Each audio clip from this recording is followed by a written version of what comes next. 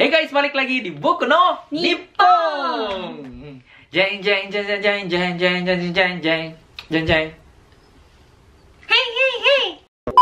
Ya guys, jadi hari ini kita mau bikin vlog tentang rumah kita.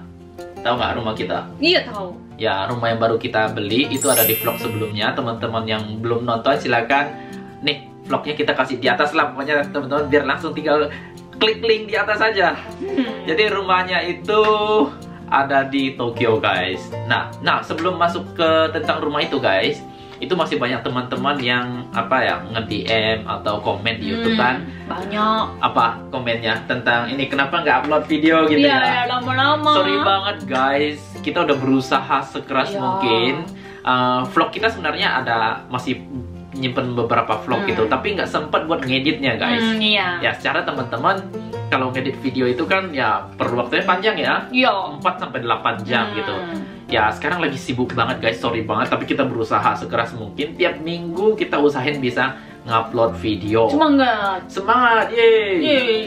Dan itu ada di story pernah kita baca itu ada story siapa sih yang apa yang ngupload story gitu kok yang videonya pendek-pendek itu itu si Aco. Aku. Kalau- Kalau gua itu ngedit video, ngambil vlog, bikin konten gitu. community juga aku deh.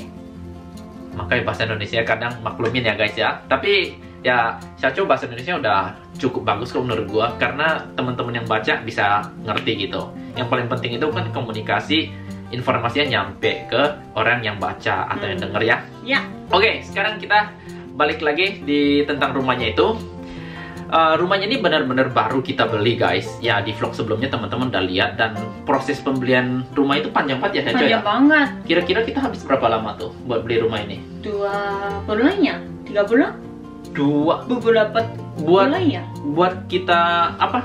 Dari kita tentuin rumah ini mau kita beli itu habis dua bulanan ya. Iya. Tapi sebelumnya kita cek-cek banyak Ah, kan. Kita lihat beberapa rumah juga. ya. Nah, kita lihat beberapa rumah juga itu kurang lebih sebulan atau dua bulan ya. Hmm. Pokoknya paling sedikit kita habis waktu tiga bulan sampai kita bisa apa ya tanda tangan dan segala macam proses pembelian sampai kelar gitu. Ya apa kita dikasih kunci lah gitu intinya. Hmm. Dan ya itulah kenapa kita benar-benar nggak punya waktu buat upload seminggu dua kali ya. Hmm. Jadi mohon dimaafin sekali lagi. Kita Ah. bakal berusaha semaksimal mungkin guys. Guys, Mohon dimengerti ya guys ya. ngerti ya? Ini rumahnya benar-benar di tengah kota Tokyo dan ada satu jalur kereta yang teman-teman mungkin biar apa ya biar search di Google-nya gampang. Rumahnya ada di mana sih gitu. Hmm. Nah rumahnya itu terletak di salah satu stasiun yang jalur keretanya itu paling terkenal di Jepang di Tokyo. Di Jepang terkenal nggak? Di Jepang, iya. Nama Paling terkenal. namanya apa jalur apa? Yamanote Sen. Yamanote Sen. Sen itu jalur guys ya. Jalur. Yamanote. Itu kalau teman-teman search di Google itu bentuknya kayak apa? Kayak love gitu ya? Iya iya iya kayak Bentuk, bentuk, gitu. bentuknya Kayak gitu loh. Ah, jadi Saku ya. circle Seperti tapi saku tapi hati ya. hati bentuknya kayak, Kayak gitu. love gitu loh. Kalau Yeah. teman-teman cari di internet tuh kayak gini. Nah, itu salah satu jalur kereta yang paling terkenal bukan cuma di Tokyo tapi di seluruh Jepang. Seluruh Jepang. Jadi kalau teman-teman uh, nanya orang misalnya di Osaka atau di Kyoto Hmm. gitu, tahu nggak Yamanote? Kayaknya tahu ya. Pasti tahu. Bahkan teman-teman kalau nyari apa uh, nanya orang di Okinawa lah yang paling jauh gitu, Hmm. kemungkinan besar tahu. Tahu.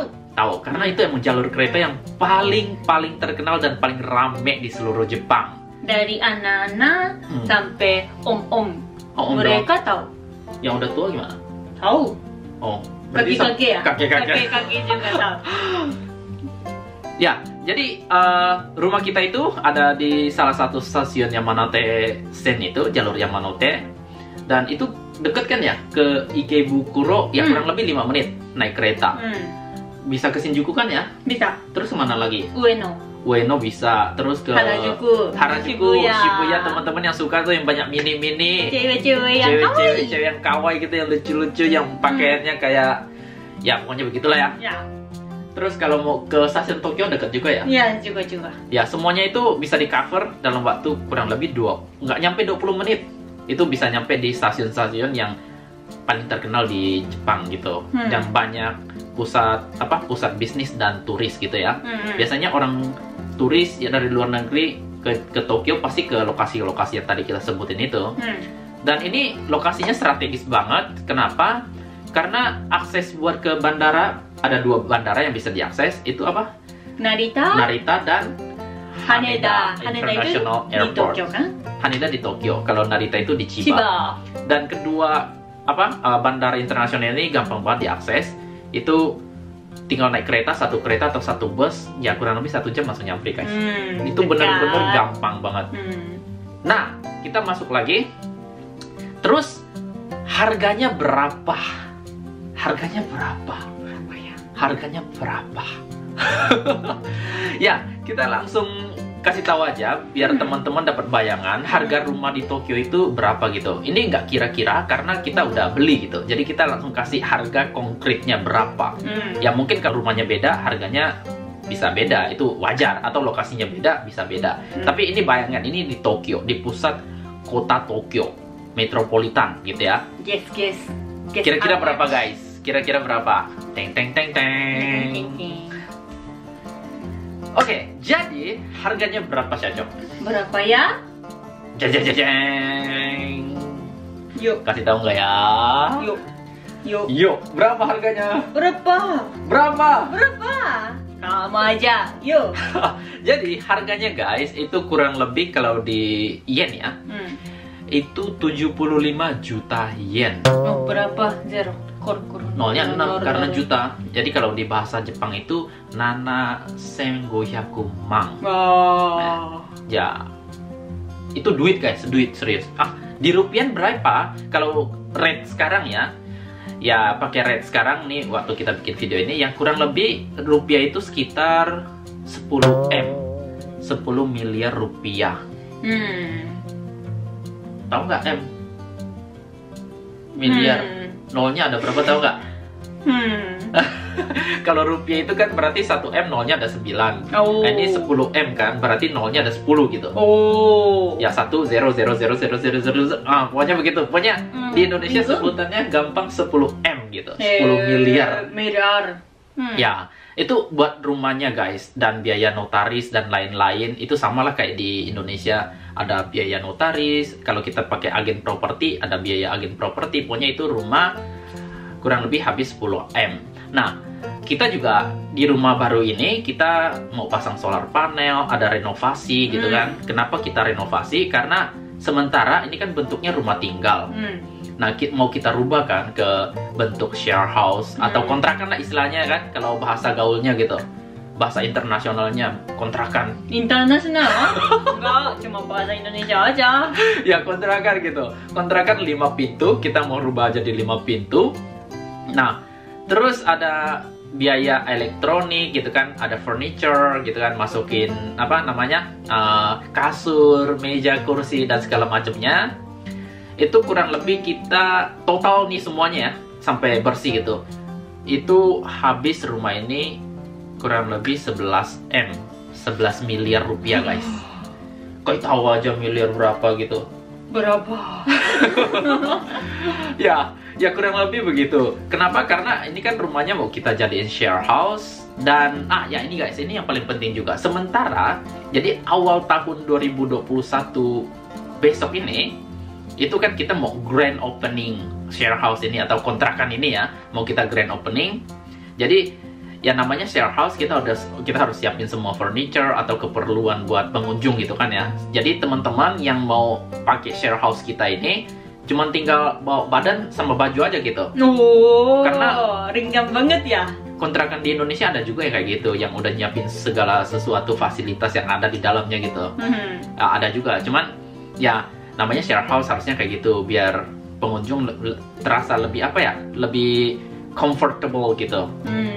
apa ya eh, rasanya lebih lebih lebih nyaman gitu jadi orang nyewa kontrakan nggak usah harus beli TV harus beli kasur gitu kan repot ya Repot, repot. ya namanya share house kontrakan orang tinggal datang bawa badan sama baju sendiri tinggal tinggal gitu sebulan dua bulan setahun dua tahun gitu kan Hmm. ya kan mereka nggak usah ngeluarin duit lagi gitu Iya. ya itu fasilitas yang bisa kita nyiapin kalau buat fasilitas yang lain ya teman-teman yang nggak punya pacar ya bawa pacar sendiri yang nggak punya suami istri anak itu ya bawa sendiri nggak bisa kita nyediain Gimana petnya?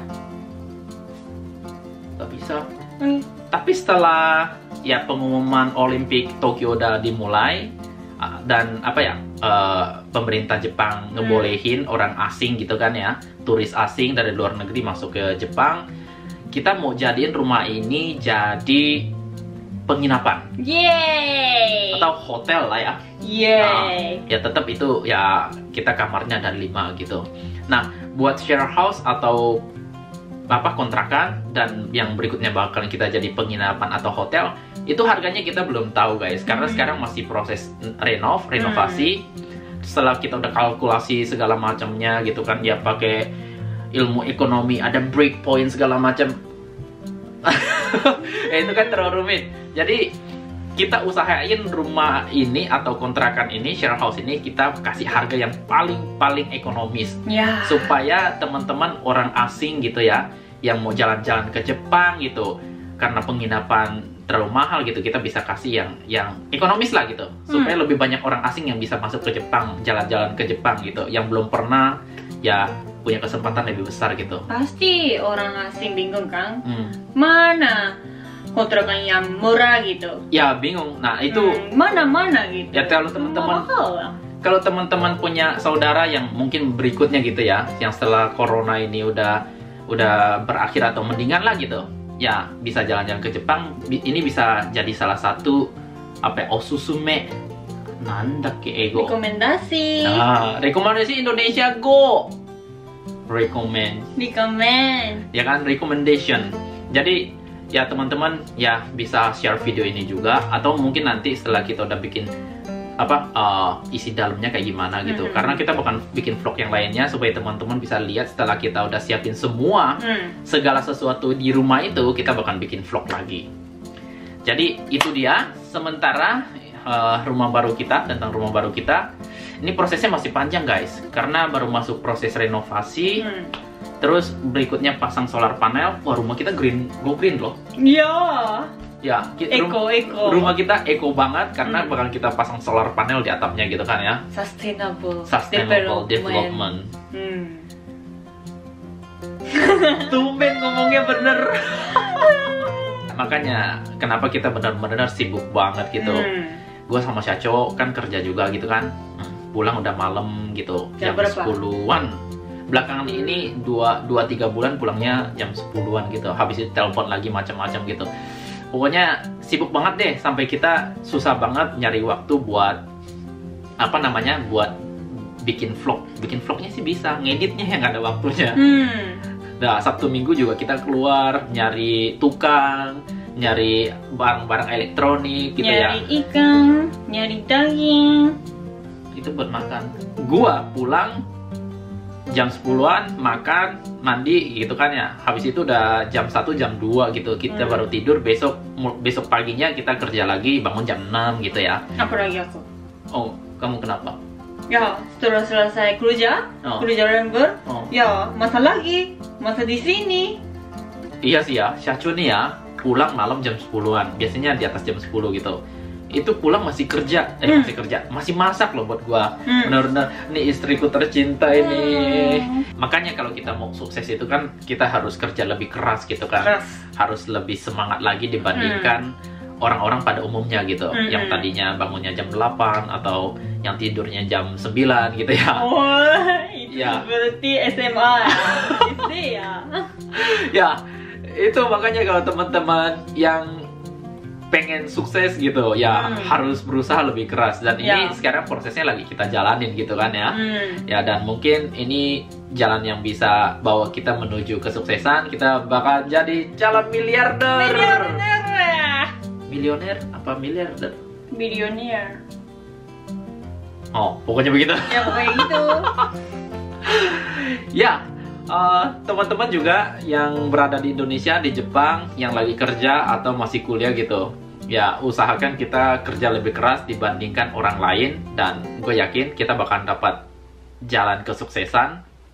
Ya paling nggak dapat kesempatan menuju kesuksesan yang lebih besar gitu dibandingkan orang lain. Ya itu dia vlog kali ini guys. Always be smart and thanks for watching. Be ambitious.